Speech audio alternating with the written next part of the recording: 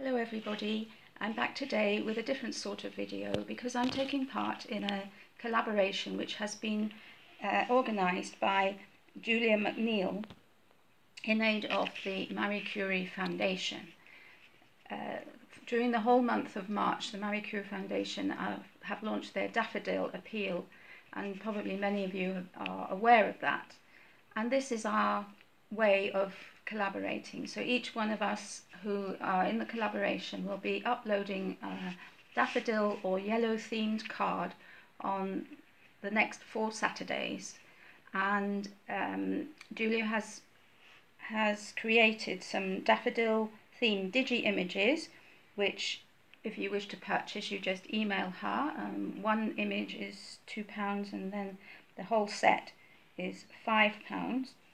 She's also um, has opened a Just Giving fundraising uh, site so that um, if you wish to, to donate to the Marie Curie Foundation, um, that would be very welcome. As you know, the Marie Curie Foundation helps cancer patients and and um, their rel- and people with with terminal illness by providing emotional and practical support to people who, find themselves in difficult circumstances. They do a very good work, and um, this is our way of collaborating with them. I will put all of this information in the description box below, together with the emails, sorry, the YouTube channels of all those who are also collaborating. So pop along to all of them as well and have a look at what they have been creating. There is a, a giveaway as well attached to this collaboration and for that you need to visit all the um, collaborators, subscribe to their channel, like the video and leave a comment in in their on their videos. Uh, all, all of that can be found on Julia's channel. So without further ado, I'll get going with my card. So a good friend of mine very kindly painted me some images of daffodils and so I decided to use those as the basis for my cards uh, over the next four weeks. So the first card that I've got is this beautiful image of a daffodil and I thought it would look nice on a long card so I found this um, card mount which has scalloped edges to make it a bit special. And i am going to mat and layer it on yellow and green paper. So the yellow paper is this one with lovely bubbles on it, white bubbles. But I'm not going to mat and layer it as one normally does, you know, sort of one and then another one on top and another one on top. I thought it would look nice to stagger them.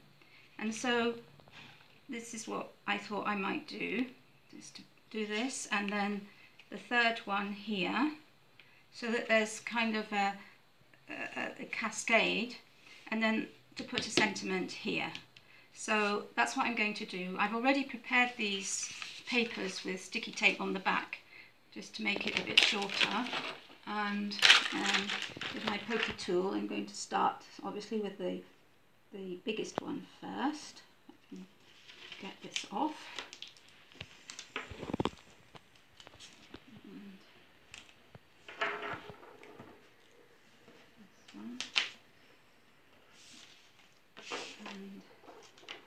I'm going to line that up here to try and get it more or less in the middle. And then I'll stick the green one down.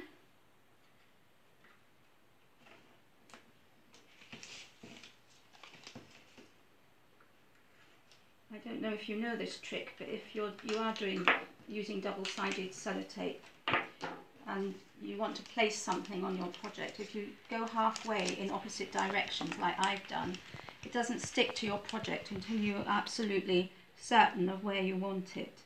So it's a very handy tip. And then when you're sure, you just pop it down and then just pull the rest out. So that's that one. And now finally the card image.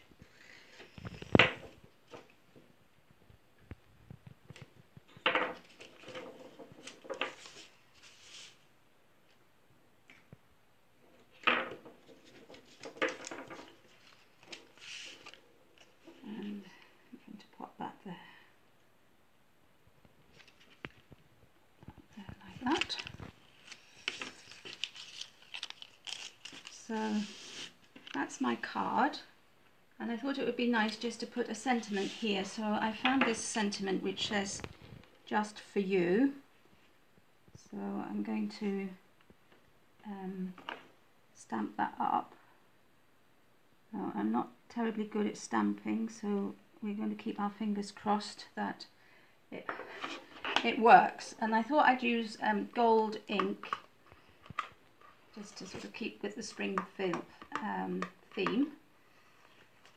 And uh, let's see, give it a go. I can get into my ink. Uh,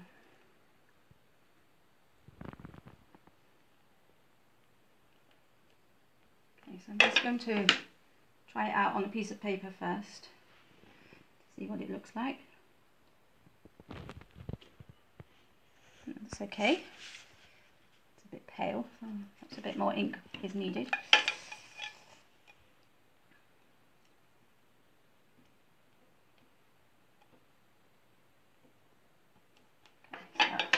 Fingers crossed. Got a line here, pop it down, press it,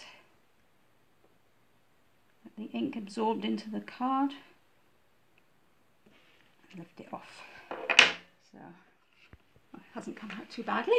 So there we are. So that's my first card in this collaboration. As I said please go over to all the other collaborators and see what they've done. And uh, I'll see you next week. Bye bye